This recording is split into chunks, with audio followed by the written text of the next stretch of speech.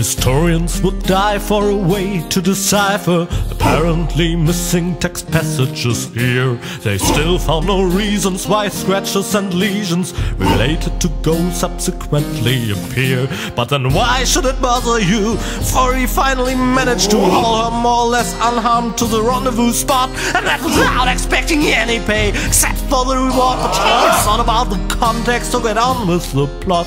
Huzzah, get on.